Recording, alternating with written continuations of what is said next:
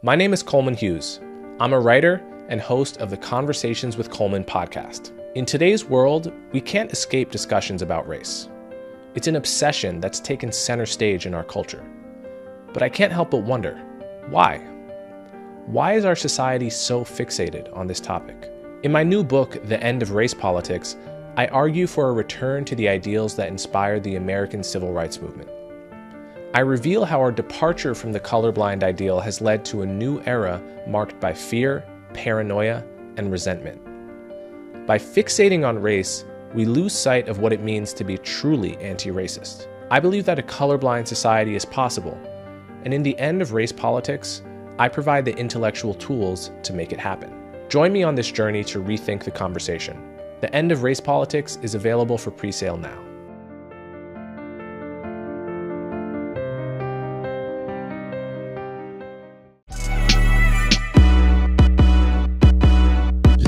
Welcome to another episode of Conversations with Coleman. My guest today is Cindy Yu. Cindy Yu is an assistant editor at the Spectator magazine, and she's the host of the Chinese Whispers podcast, which is actually one of my favorite podcasts. We talk about whether China will invade Taiwan. We talk about whether the West should adopt a Cold War like mentality towards China. We discuss the phenomenon of Chinese espionage in the West. We talk about the wave of immigration from Hong Kong into the UK. We talk about the nosedive in China's birth rate over the past 10 years. We talk about the so-called century of humiliation. We talk about the legacy of Xi Jinping. We talk about the apparent futility of the democracy movement in China, and much more. So without further ado, Cindy Yu. Okay, Cindy Yu, thanks so much for coming on my show. Thanks for having me. So, first of all, I'm a huge fan of your podcast, Chinese Whispers.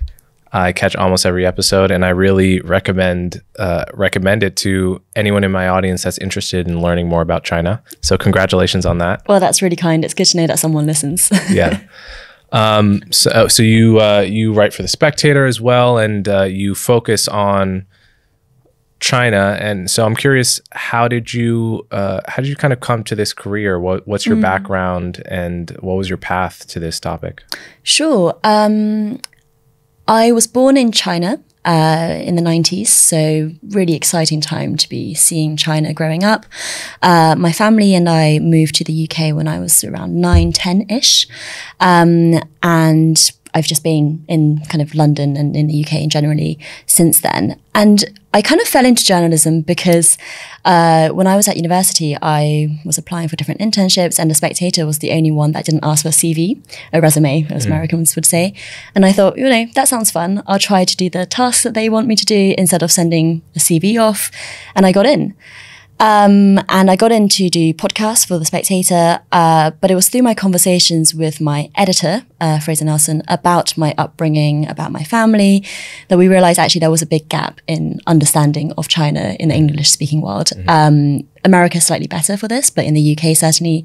Um, and so we thought, well, you know, why not combine that with the fact that I can make podcasts and bam, that's how it happened. And I've, I've, been writing a bit more as well, as you say. So yeah, it's it's felt quite natural, although it wasn't planned at all. Um, and I've really enjoyed kind of going back to my roots, as it were, my childhood roots. Um, through my work uh, and also you know through my studies as well because I did a master's in contemporary Chinese studies so kind of combining all of that to be where I am now so you say uh, Americans have a slightly better understanding of China uh, than people in the UK. Why do you think that is? I think it's a it's a great question. I think it's probably because migration from China and Asia in general has uh, East Asia at least has been more towards America. You mm-hmm. know, if you just look at geographical terms, if you look at the fact that I think in California during the gold rush in the 1880s, a quarter of Californians were Chinese immigrants. Mm-hmm. Um, so that is an immigration history that the UK doesn't have. The Asians we have here in the UK are more likely to be South Asians, Indians, and Pakistanis. So you don't have that diaspora there talking about things, you know, being present. The other thing I think is that, you know, America has a lot more at stake from China's rising mm. than the UK does. Um, and the UK kind of in the last century let go of its world leader status and passed it over to America. And so who comes next is you know, slightly less, um, what's the right word for this? Less immediately concerning to the UK in a way that it is not for the US because it is that is immediately concerning. So I think there's more at stake for the Americans to understand China better. And then the final thing I would say is just, it's a larger country. You know, there are more academics, there are more journalists who've been to China uh, compared to the UK, where it's sometimes the, the discourse is still quite small and often domestic focused. Hmm. Um, now, that's not to say that all Americans understand China or most people who speak about China in America understand China, right. but certainly the volume is more. When I look at good China reporting in English language, more often than not, it's from American journalists. Yeah. Um, so, actually, one of your recent podcast episodes was titled uh, Does China Care What Britain Thinks? which I thought was a hilarious title. Uh, can you talk about that a little bit? What why did that controversy or question arise and uh, what is your answer to it? Yeah, so that was an episode I did where I interviewed the British Foreign Secretary, James Cleverly.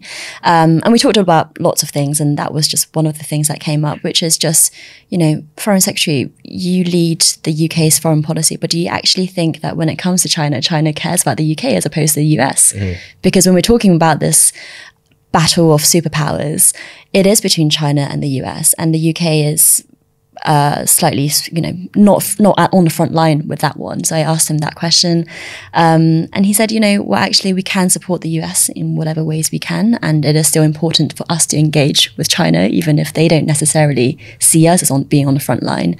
And I thought that was a fair enough answer. Um, that is true. You know, just because the UK is not the world leader anymore doesn't mean it c- shouldn't have a really pivotal role to play in this area.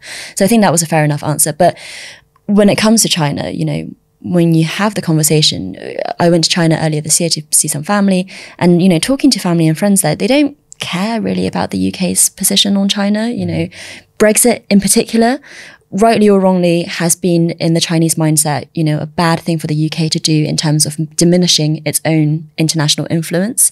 So they tend to care more about America or about the European Union, um, less about the UK. Um, and I think maybe Coleman, you have a slightly different perspective on this because you are US based. But in the UK, we can often talk about it as if we are the biggest people in the conversation still. When I say mm-hmm. that, I, I, mean the UK. Mm-hmm. But actually, it does seem like a lot of the China US conversations actually happen above the British level. Mm. Yeah, I think so too, probably. Yeah.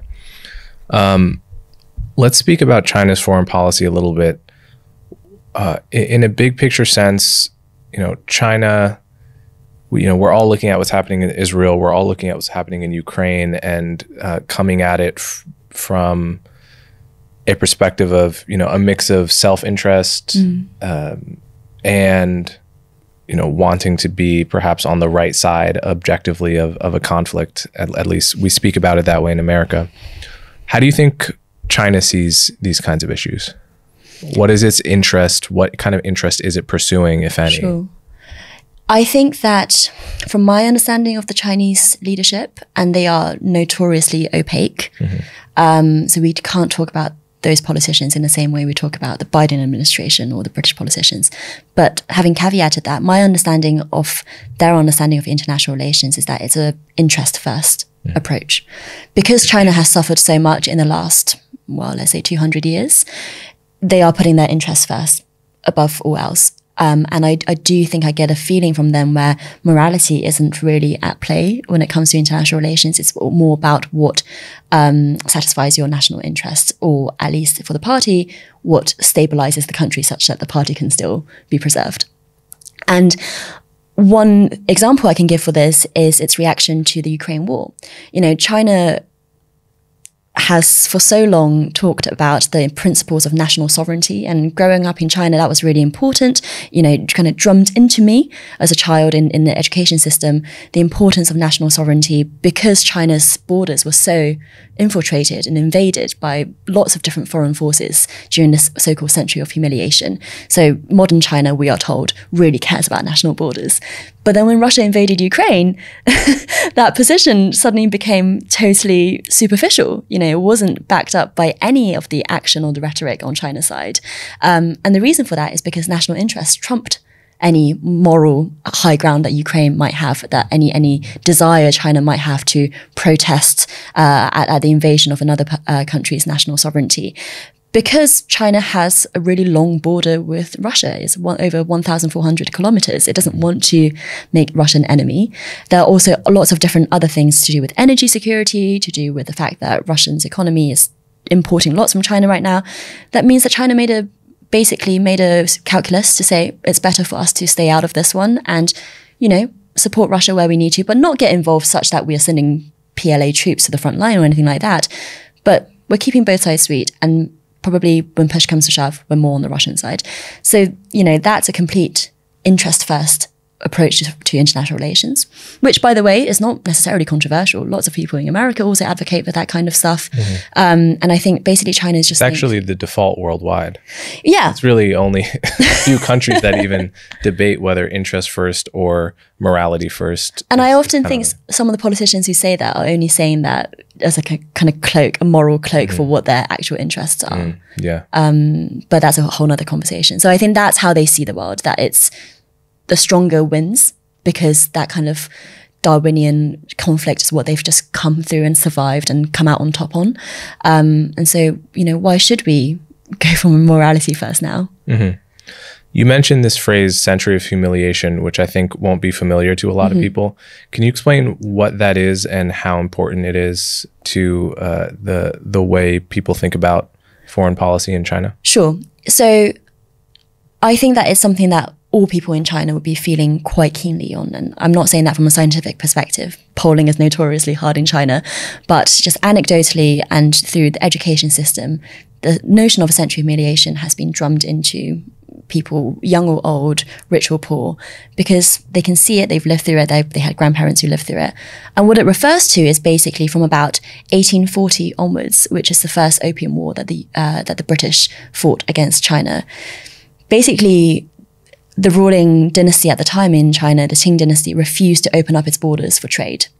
And in a very kind of con- uh, concise way, the British brought gunboats instead and said, We're going to fight you for control of these ports. And the thing that we want to import into your country is opium obviously highly controversial and the Qing dynasty did not okay but their military power was simply not up to scratch compared to the British. So that failure that defeat in that 1840 war meant that Hong Kong was parceled out and that's why there's this whole kind of current problem with Hong Kong at the moment.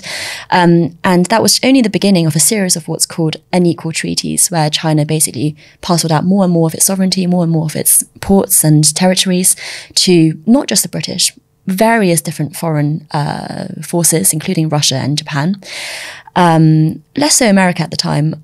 And so that's what the Chinese refer to as a century of humiliation. For the Chinese Communist Party, is a really important narrative because they want to say, we brought you out of the century of humiliation. Only when the Chinese Communist Party took control of China in 1949 did that century end. Mm-hmm. But I think, in my perspective, if you look at what's happened since the Communist Party has controlled China, that humiliation, that suffering continued and continues. Um, China is obviously in a much different place now, but if you look at things like the Great Leap Forward, the famine that followed that, the Cultural Revolution, um, in the last few years, the zero COVID policy, you know, I think Chinese people are still suffering quite a lot, actually. But it comes from the inside now. Yeah, and and, and then the CCP would not call that part of the century of humiliation. Right, right. I'm always excited to talk about a longtime sponsor of this show, Ground News. Navigating today's complex news landscape requires a tool that transcends single source biases, and that's where Ground News comes in. Ground News aggregates articles from across the globe and the political spectrum, allowing you to compare how different media outlets cover the same story. From left wing and right wing slant to the ownership of the sources, Ground News offers a comprehensive and balanced view, challenging your assumptions daily. Ground News tells you the total number of articles published on the story and gives you the political affiliation of each article. Plus, it allows you to compare headlines for every story. So, for example, today there's a story about how Netanyahu said that the IDF has killed half of Hamas battalion commanders. Now, the more left leaning Times of Israel has the headline, Netanyahu claims half of Hamas battalion commanders killed, whereas the more right leaning New York Post just says Israel takes out half of Hamas battalion commanders. So you can see that the left wing sources are framing Netanyahu's claim more skeptically, whereas the right wing sources are more inclined to believe it. This is the kind of tool that makes you an informed consumer of the news. Personally, my favorite feature in ground news is the blind spot feature, where you can see which stories are being ignored by the left and the right, respectively, which gives you an insight into what, e- what each side wants to ignore. In other words, the ideological bias of each side. Ground News is not just an app or a website. It's an essential tool for anyone seeking to engage critically with world events and form a well-rounded perspective. So try Ground News today and experience news in a way that challenges and enlightens you. Right now, Ground News is having its biggest sale of the year. You can get 40% off their Vantage subscription, which is what I use to do my news analysis, if you go to the link ground.news slash Coleman, or you subscribe to the pro plan for as little as $1 a month. I really appreciate what Ground News is doing, and I hope you check them out. So, um, many people in the West talk about the Ukraine war, our, you know, America's failure in Afghanistan, our pullout, and all of our foreign policy in terms of the effect it may have on China's uh, willingness to invade Taiwan. Yeah. I've always suspected that, though there may be something to this, that probably China's calculus about whether or not to invade in Taiwan may not have everything to do with us. Right? Like it may no. be a bit of a America-centric attitude to think that Xi Jinping is just like carefully watching what the U.S. do, what U.S. does, and that's the majority of his thinking. Um, but you, you'll you'll know much more about this. I mean, what? First of all, do you think it's likely that China will invade Taiwan? And secondly, do you think that uh, America and, and Europe broadly, our attitude towards our own military interventionism is a big factor in that decision? Mm. So, uh, on your first question, uh, depends on the time scale, I think. I don't think it's likely in the next year or the next five years. I wouldn't put money on an invasion. Mm-hmm. But after that, so much can change in international relations. Um, the US, UK, and Australia have this nuclear submarine deal called AUKUS, which would change the power dynamic in the Asia Pacific. Uh, the US is also gathering other allies like uh, India and Japan, South Korea, to really kind of build up this deterrence effect against China. And uh, it might be that in five, ten years, China decides, gosh, if we don't go now, we're never going to get this island back. Mm. Um, so I can't speak for that far ahead. Um, but, you know, in the next few years, one thing that is not US related at all about China's decision is just the fact that an invasion like that would not be like an invasion of Ukraine because it's not on land. Mm-hmm. You know, invading Taiwan would require a joint operation, possibly an amphibious landing, um, which means that air, sea, and uh, air, sea, and land would all be utilized. Mm-hmm. And the PLA is not strong enough for that mm-hmm. at the mm-hmm. moment. And that's what all the you know the the the in industry analysts say at the moment. So they literally can't take it quickly at the moment. And if they give Americans, uh, you know, a chance to fight back, America has numerous military bases in the region. Not inc- uh, not America has numerous bases in the region, including in Japan, in Okinawa.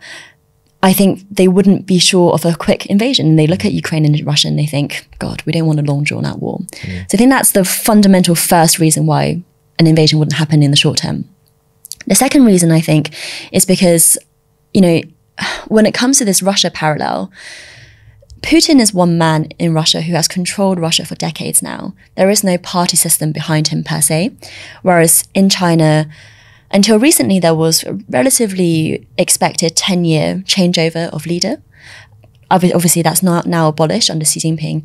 But the party is still an organization with 100 million people. You know, just let that sink in 100 million people in this party that came before Xi Jinping that will probably exist after he goes as well. What I'm trying to say is that the institution is incredibly strong. Mm. Xi, in his public statements, is not about all about him.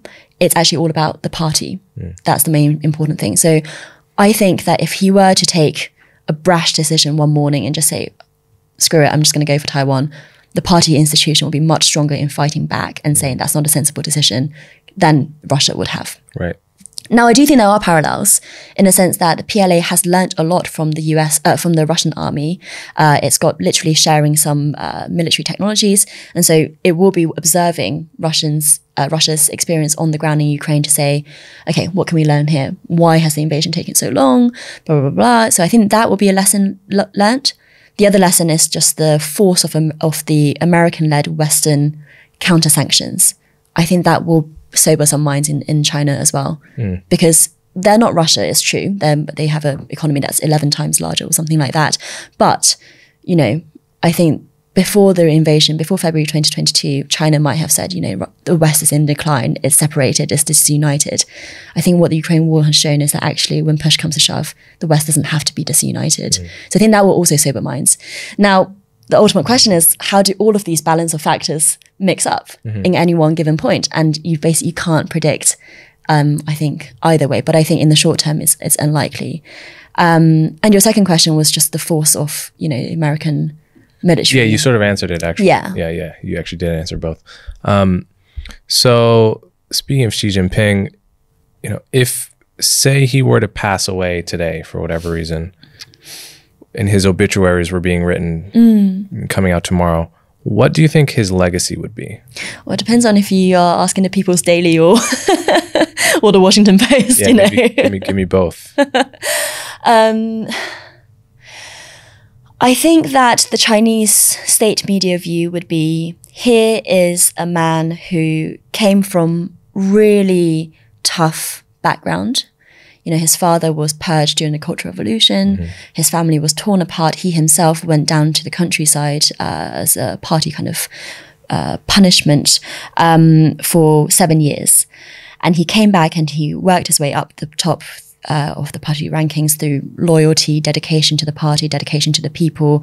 And you can see that in some achievements, such as the 2012 anti corruption campaign, uh, which has, you know, been a relatively root and stem uh, root, root out of corruption in China in, in the party system they would look at perhaps uh, the fact that they probably say that they, they won the war against COVID. They would say that. And they probably say that um, the vaccine rollout was a success as well when it comes to the whole world because China showed, you know, this kind of leadership. Um, they probably say that, you know, under Xi Jinping, China stood up again if he died today. Now, the Washington Post version, the Western media version, would be quite different, I think. You know, COVID was not a success. In fact, we're still seeing the economic ramifications of that now. It's true that the Chinese economy was slowing already before zero COVID, but right now, it's just not rebounding in the way that it should be. Um, and the slowdown has been worse than people feared. Uh, they will probably point to the fact that the anti-corruption campaign was probably just a way to purge his enemies, and actually, um, the data that comes out to show the lack of corruption isn't necessarily reliable. And if you look at the fact that he's still purging people now, you know, uh, General Li Shangfu this year, Foreign Minister Qin Gang, few, few of the rocket forces generals, you know, corruption is still there, and he's still clearly not got control of the situation at home. Um, you've got young people trying to lie flat. You know, this phrase that they say, which basically kind of getting off the hamster wheel of life, just trying to kind of give up and go for more like a Diogenes inspired stoic lifestyle. Um, and the economy is not in a good place and people don't have hope necessarily for the future. That's what, you know, they would probably say his legacy is because he turned away from the market reforms that made China such a success after the Cultural Revolution. Um, but, you know, I think, I think the truth will probably be somewhere lying in the middle of those, those two. Um, less hagiographic than than the People's Daily version, probably. Hmm. Um, but yeah, I mean, I think he's got a very mixed legacy. And now, I think if you ask the average Chinese person, that would be really interesting. Hmm. And I, I couldn't answer that hmm. very reliably mm-hmm. because of this opinion polling data uh, factor. But the fact is, there are a lot of Chinese people who have a much more positive view of the government than we see from the from the outside. And that's not because they're brainwashed. That's because they've got other things. And I think you had Keyu Jin on the podcast recently, and Yeah. thought she put forward some of those arguments quite um, interestingly. Yeah, my my my guess is he at minimum is perceived as a strong leader, Yeah, right? Which is like a lot of people. There was some interesting polling about people that voted for Trump in America, and down down the line, many of them saw all of his flaws, but the one thing they agreed on was that he was a strong leader. right. And sometimes that I think um, in in the commentary we can underestimate how important that is to the typical person. Especially with the background of the century of humiliation. You know, to see China, quote unquote, standing up again. You know, if you're a Chinese person, you're not going to be rooting for the other side. You're rooting for your side to be doing better. Right. So I saw a fact recently uh, that uh, apparently there were uh, something like 9.5 million births in China this year, which was down from like 17 million just six years ago. In other words, live births have almost cut in half just in the past six years, which is really just an astounding fact. Uh, I'm curious, do you have you looked into what people feel the causes of this trend are and perhaps do you can you speculate about what the consequences will be? Yeah, it's it's well, we're in a situation now where China is not the most populated country in the world because that's Right. now India, and China's population is shrinking. Um, I think the reason for that, you know, obviously people first thought is the one-child policy, which came in in 1980 and was uh, abolished in 2016, or at least the the one-child policy became the two-child policy in 2016. And obviously, that's going to have an impact because you know, demogra- demographers know that replacement rate for population is 2.1. You know, two mm-hmm. parents have to have at least over two children to re- replace that population size. And the Chinese government knew that as well, but they yet they forced the majority of the country to only have one child hmm. for, for for 36 years. So that's going to have an impact. But I think part of the impact of that, and part of the reason why birth rates haven't bounced back since 2016, is because partly there's been a cultural shift. You know, so people my generation who are of childbearing age, who've but who've grown up as only children, don't think that they need siblings. Mm. You know, society is so funny, it's so manipulable sometimes like that. You don't grow up with siblings, you don't desire siblings. Mm. It's just the norm for you. Mm-hmm. You know, don't nobody you knew grew up in a big family at all. And you mm. might have aunts and uncles, but you know, I grew up thinking that wasn't Chinese. I'd watch Western TV shows and think, oh my gosh, they've have, they've got siblings. I just don't think that's very Chinese. but of course, that's ridiculous because just a generation before me, they had always, they had siblings. But I think it's a it's a mentality shift. So people don't desire that kind of stuff. Young people today. The other thing is, you know, the cost of living. Basically, um, I don't have the num- numbers to hand, but I think Chinese cities are some of the most ex- expensive cities to live in when you compare house prices to income. You know that ratio. Now, China's good because parents tend to help, culturally speaking, um, and yet when you look at um, houses and also the education expectations for middle class people to put onto their children, you know, this tiger mum stereotype becomes huge investment in your child's education and extracurriculars. All of that makes having one child a massive investment, let alone more. So I think that keeps a lot of people from doing it. And I, I would say hazard a final guess, which would just be uh, the fact that women are more educated than ever in China. You know, this is this generation of women are more educated than mm. women have ever been in China, and f- lots of them, you know, they're like, well, we don't want to marry into a patriarchal family in the, the, the patriarchal expectations of my in-laws. Mm-hmm. You know i don't want to have a mother-in-law who's telling me i've got to cook for my husband i've got to mm-hmm. clean and i've got to do all this other stuff. I want to focus on my career because i've got a master's in something you know? Mm-hmm. So i think that will also have its impact. Um, and the government needs to tackle that kind of stuff. Instead of just raising the cap more and more it's now a three child cap which is essentially you know doesn't make a difference because people are still not having two kids they've got to ease up things like the cost of living. They've got to ease up things like the expectations on women to be homemakers and to be career women. Um, and they've probably got to give some incentives to people as well. Um, but we've, we're yet to see anything kind of widespread on that. And you asked about the consequences of it. I think most immediately, we're looking at an aging population in China.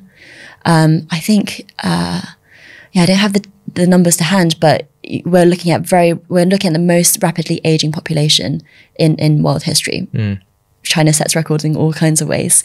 And what that means would be more uh, healthcare demands, uh, more social welfare demands as people are coming out of working age uh, and into uh, retirement, but they, they're not earning their own money. They need the state to help.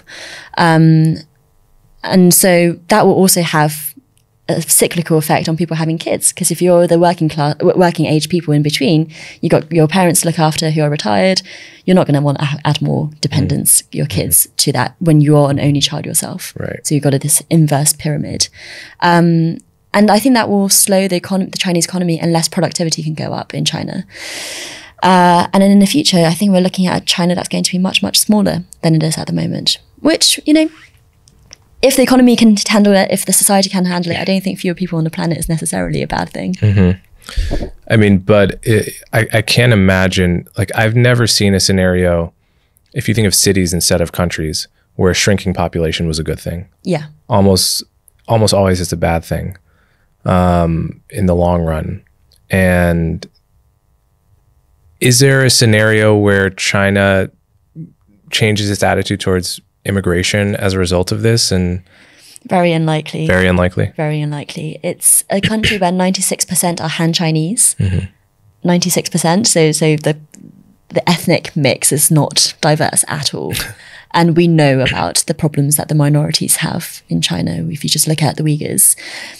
And if you look at Japan, a very similar culture, hmm. a similar ethnic mix, you know, they've had this demographic problem for much longer than China has, and they've still not opened up to immigrants. So I don't hmm. think China will either. Hmm. Um, and you look at on the ground, for example, in the, on the southern southern coast, where some of the universities have had partnerships with African universities, where there are some African students going there, but the amount of racism that they face, the amount of pushback they face from the local community, is really remarkable, actually. So I don't think China would, the government would want to kind of open that um, because as a society, it's just very kind of it's not the kind of cultural melting pot that we might that the US and the UK or other kind of liberal democracies, not all but some are. Right. So, one of the things about China I'm, I'm astounded by is whenever I meet someone that is in the know, whether they are in the intelligence community or former intelligence or something, and I ask them about the the problem of espionage mm. of Chinese spies in the West, basically everyone says the same thing. They're like, "Yeah, there's tons. Like it's like they're everywhere." Yeah. but there isn't necessarily an alarmism about it where for example if you dial the clock back to the cold war and it were just like accepted that there are tons of soviet spies everywhere people would be freaking out about it right like in a way like overly freaking out and that's what mccarthyism was and so forth so basically every expert agrees there are tons of spies from china in the west but there's not a moral panic about it that I can detect, at least broadly speaking, which is kind of interesting.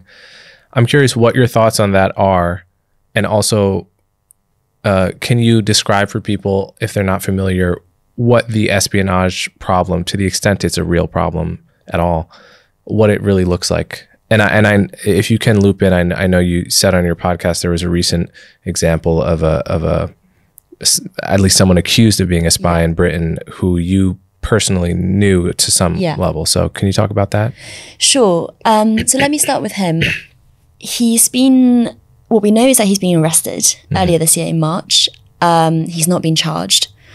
And uh, it's a very confusing case. And all I know about it, I know from media reporting. Um, and some outlets have gone as far as to naming him, but I, I did, yeah.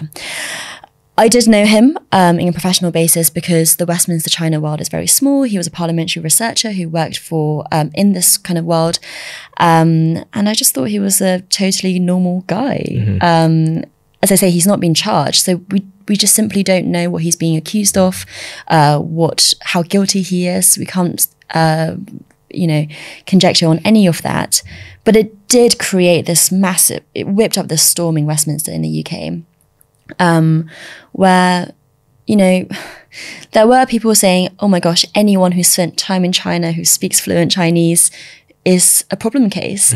And, you know, I I vehemently disagree with that. You know, that's a ridiculous position to take. Um, as a Chinese ethnic person, I kind of got used to people being a bit kind of iffy about, you know, how reliable people are. And I can understand that I'll never get a job in the foreign office because, you know, I've spent 10 years in China and God knows who I know. But, you know, if we can't even trust British born people or Western born people who just simply have insight into China through spending time there and have learned the language because we fear that they've been compromised, then that would be ridiculous. And I'm encouraged to hear you say that you don't think there's a moral panic because I feel like I do see a lot of moral panic. And I wonder if it were just at the start of it, basically. It's going to get much worse from here. Um, and I think the US is really bad for this, actually. You know, if you look at, um, is it called the, Ch- the China Initiative that the State Department had a few years ago? It's now wound down, where it basically picked out Chinese ethnic scientists in leading American institutions. Um, and on very little evidence for some of them, accused them of being compromised and supplying secrets to China. Some of them have been acquitted, and the program has now been wound down. You know, that was, I think, um, a moral panic. Um, so I hope you're right, Coleman.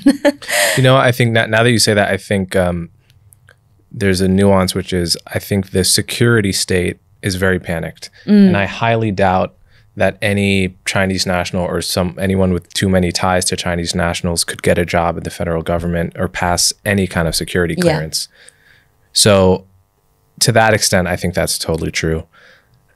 Outside the security state, among the general population, mm. Is there a kind of like is there anything akin to what the Red Scare was during communism? I don't I don't know that there is. I don't think so. I think COVID was bad for this. yeah. in general, but just because xenophobia comes out during times of fear and mm-hmm. tension, and every single Chinese diaspora person I know um, has had some kind of funny mm-hmm. experience mm-hmm. during COVID with Right.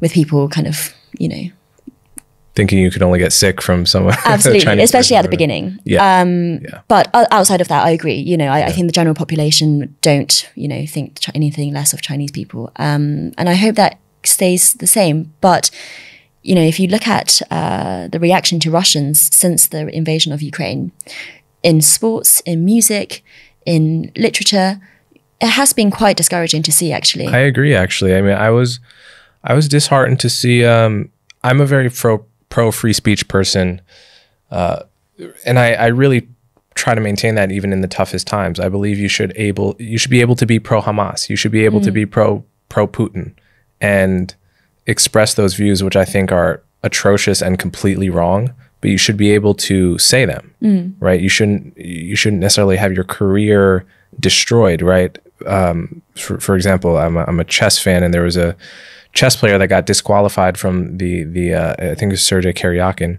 from the global playoffs of chess, right? Like the most important championship in chess. The playoffs for the championship, he got disqualified f- from. By the way, which is why Ding Liren uh, replaced him and ended up out of 16 people winning the world championship. Right. So had had Russia not invaded Ukraine, Ding Liren would not be um, chess champion of the world, which is a crazy. yeah, it's like a crazy um, butterfly effect Yeah. kind of thing. But yeah, I mean the the way the way Russian Russian nationals with any dubious tenuous connection to Putin, alleged connection to the regime were turned on, I thought was quite ugly and Hmm. unnecessary um, to the cause of defending Ukraine. Yeah, I, I 100% agree. And, and, you know, And if if China were to invade Taiwan, I would be probably very scared probably the same thing would Yeah. happen. Yeah. Absolutely. Um, and I, I think I'm in a really privileged position um, when it comes to, you know, my, my influence and, and where I work. But I would be very scared for your average Chinese diaspora business person trying to make a living for themselves. Mm-hmm. Right, because if you're three degrees of separation away from someone in the CCP, Oh, yeah. how's that going to look? I mean, 100 million people in the party, right? Like Right. it's, right, right, and China is a country, and, and this is another one of my bugbears, Coleman, which is people who say, oh, you know, you've got links to the PLA or links to the CCP. right. It's a one is- si- it's a one party system. Yeah, yeah, Everyone's yeah. got links to someone in the system because the system is everything. Right, right. that doesn't mean you believe in it. well, this is lazy journalism, and and there were many people. Uh, I mean, I, I I I know one guy who, you know, it was said that he had links to Putin during Mm. the Trump Russia investigation because he he just had done business in Russia. right. but he was like genuinely like I, I met a guy once at a thing and now I'm in the New York Times talked about as as if I have links as if I have anything to do with the Trump Russia probe, right? And this this kind of thing does happen and once you're marked that way, it's pretty much impossible to get that association out of people's heads even if there's nothing to it. Absolutely. Yeah. Especially if you don't have power in the discourse. As in, as in if you if you're not a journalist, if Right. you don't have a way to put your side through. Right. And we've seen that in the UK a couple of times where people with alleged links to the CCP, you know, you could be a businessman in uh, south of England doing a food takeaway business, and this is a real case.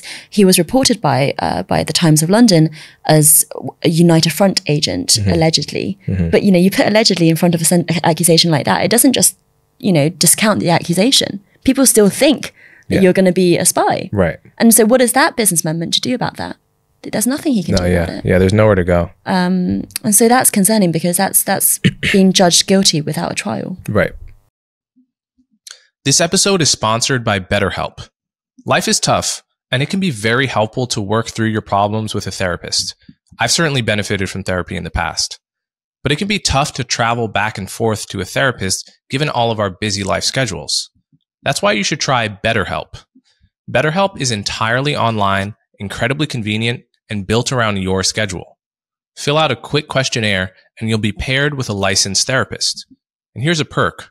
If you ever feel the need, you can switch therapists at no extra charge. So you're always in control. Visit betterhelp.com slash Coleman today to get 10% off your first month. Remember, that's betterhelp, H-E-L-P dot com slash Coleman.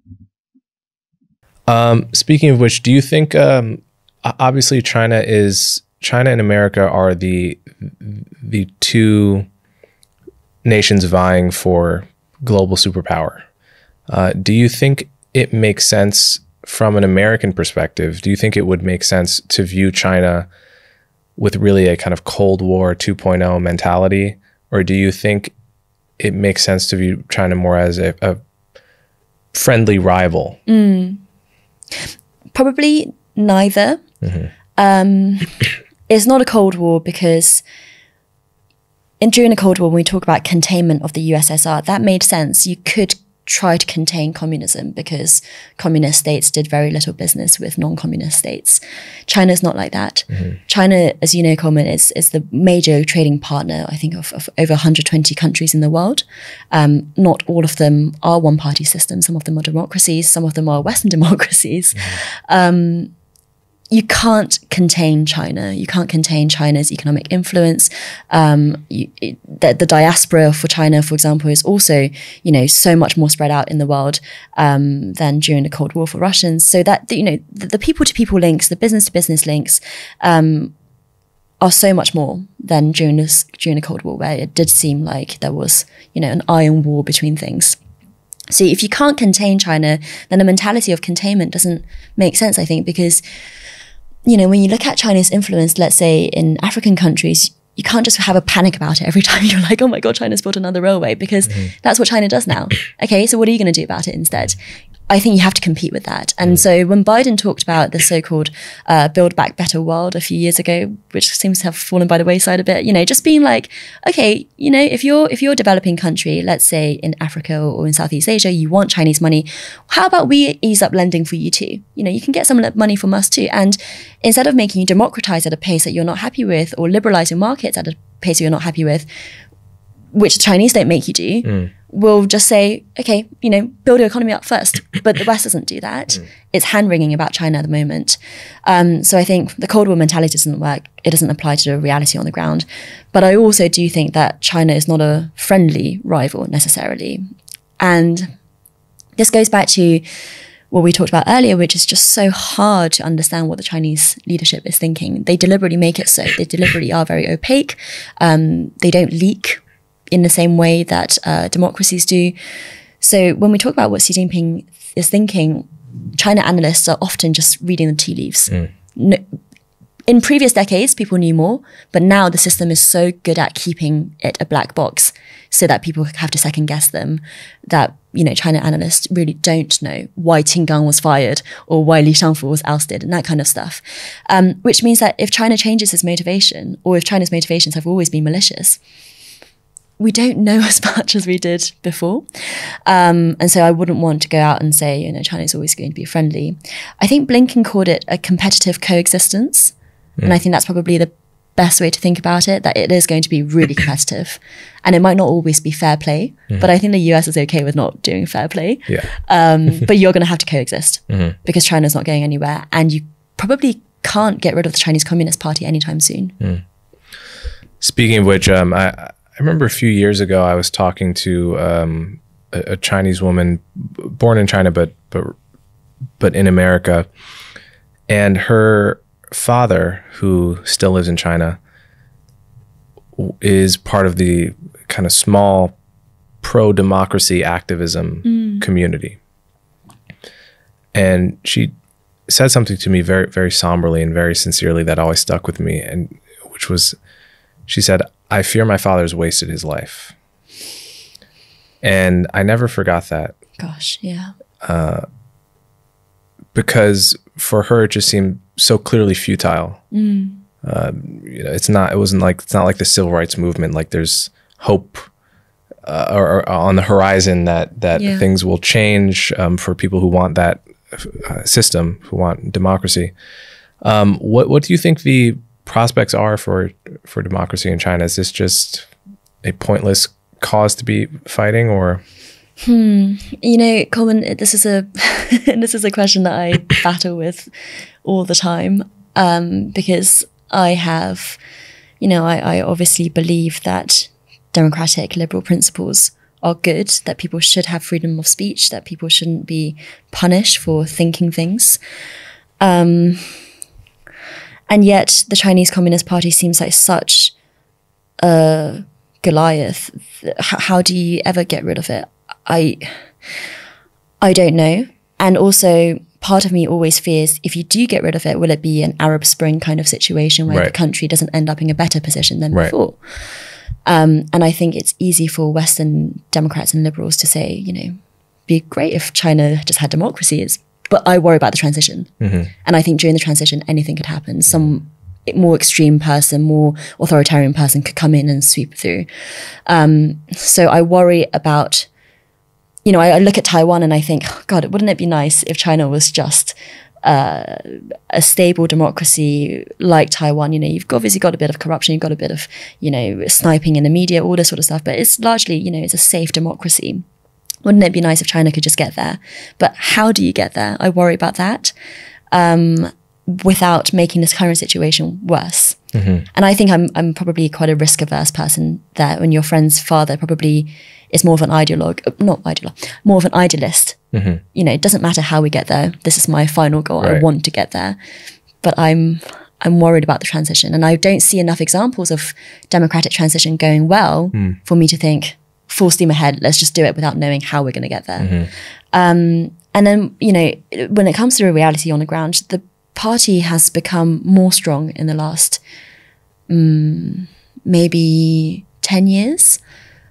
Xi Jinping is obviously a much more centralized leader than before. Uh, when the internet came, came to China, people thought, oh, maybe this is a way to have dissidency.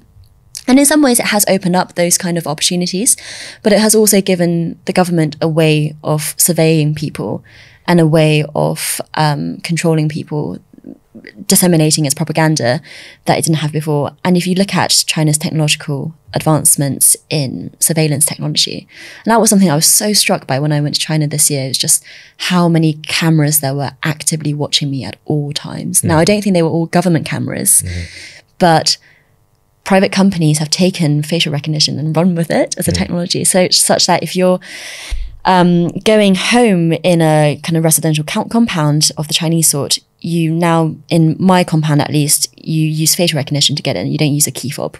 So my, you know, the, the the property developer who owns my uh, my family's uh, compound, they know what everyone looks like, and if the government asks them for that data, are they really going to say no? So that's, you know, that surveillance is much more than it was before, even just before COVID. And so I do think the state is much stronger than before. I can see why your friend's dad is hopeful though, because you can't just throw your hands up and say nothing's ever going to change because if you always think that, then nothing will ever change. Mm-hmm. And I think no one really ever saw the USSR falling. So we just don't know, basically. And I'm glad there are people like that yeah, fighting for it. He might have wasted his life personally, but I'm glad that some people like that exist. right. Okay, so you recently wrote a piece about uh, Chinese diplomats. Um, how are Chinese diplomats? How do they operate differently than our picture of, say, American and British diplomats? Yeah, so this was a really fun piece of research because every single person I talked to who had worked with Chinese diplomats were like, oh my God, I've got so many stories to tell you. How long do you have? Yeah, so it's clearly quite a universal experience. Um, now, I think in the UK and in the US, we think of diplomats as building bridges. You know, they're, they're kind of like the lubricant between different countries to make sure that they get along. Um, and if you need to fudge certain things, you can fudge certain things. But what I learned from researching that piece is actually Chinese diplomats are more like a moat. They're the bit in between the foreigners and the central leadership. They're not building bridges. They're trying to keep you away from the central lead, central Right. leadership, um, and that comes across in the way that they behave. They're not out there looking to have you know socials, to have beers on a Friday night. They're not trying to make friends with you. In fact, they always uh, uh, go to meetings in pairs so that each can spy on not spy but each can watch on the other one and report back anything beyond the line. Um, and uh, Zhou Enlai, the China's former premier um, under Mao Zedong, he called it China's civilian army. And that's how they always saw the foreign service in China. It's an army-like discipline. It's like the civilian version of the People's Liberation Army. It's not out there to build bridges. It's out there to get China's message across, uh, and to be on message discipline and to serve China's ultimate goals, which doesn't necessarily include listening to what other people have to say. Right. Yeah. Okay, so But Coleman, if I can Yeah, add, that does ahead. Mm. sometimes make them highly efficient. You know, if you if you just keep beating that disciplined drum, Mm-hmm. if you don't leak, you know, it is a is a efficient, effective, sometimes effective way of doing things. Mm-hmm. Um, so you, you get you know pluses and negatives. I think. right. Yeah. Okay, slight pivot. Um, you you also wrote recently about the wave of immigrants from Hong Kong to the UK. Uh, I think 150,000. Can you explain why that happened and uh, maybe speculate about what you think the the sort of uh, effects of that will be? Sure. Yeah, I think it happened because of what's been happening in Hong Kong in the last few years, um, which culminated in 2020 with China's national security law, which effectively ended this status of Hong Kong of one country, two systems that Hong Kong had been promised in 1997 when it returned to the people's uh, to to China. Um, now, people in Hong Kong, you know, because of the national security law, don't have the same freedom of speech that they had before that um, which means that a lot of them are thinking about alternative things for their children in particular. The Hong Kongers I spoke to who are coming to the UK are worried about the next generation. They're young families who think, gosh, my child is going through primary school now. I don't want them to be inculcated in the same kind of communist propaganda that seems to be coming into Hong Kong schools as a result of the recent politics. Um, so yeah, so 150,000 of them have applied for residency in the UK, and the UK has opened that up as a deliberate thing to do because I think Brit- Britain always had this relationship with Hong Kong. We talked about the century of humiliation. Um, and so often some of them had links to the colonial rulers um, back in the 90s. And those people and their families can come over. Um, and it was a great thing for the UK to do in terms of importing highly skilled immigrants. Um, in terms of their impact on on the UK, I think it would be so interesting to see. Someone I spoke to who works in this area said that we could see a Hong Kong born cabinet minister or even prime minister within our lifetimes. And I think that's probably not unfair to say, actually. And the suspicion of Chinese spies that will not apply to. It doesn't seem to apply Yeah. to Hong Kongers. So, in the aftermath of the Westminster spy scandal, I talked to two people who are hoping to get onto the Conservative Party candidates list. Um, one of them was Hong Kong Chinese, the other one's mainland Chinese, and they have very different things to say. The mainland Chinese was seen with suspicion and didn't think that they could ever really get onto the list of candidates. The Hong Kong Chinese thought, yeah, it's all fine. And in fact, actually, if you look at um, the data out there, it does seem like there's been such an influx of Hong Kongers to this country that they could be, you know, they could swing the next election, depending on which regions they, they've gone to. Uh, some of the constituencies that they live in are quite marginal. And so that whoever wins the Hong Kong vote could really be, you know, very Are they swing voters? It seems like, uh, from opinion polling, that actually three quarters of them are conservative voters Oh, interesting. family values, you know, low taxes in Hong Kong, so don't believe in the huge size of the state, um, believing education, kind of pull yourself up by a bootstrap kind of philosophy. But of course, I heard an episode that you did recently about left and right and what does that actually mean Yeah, yeah, anyway. yeah. And I, Right. lo- I love that so much. Right. But, you know, f- f- it seems like the Hong Kongers here associate more with the conservative values. Yeah.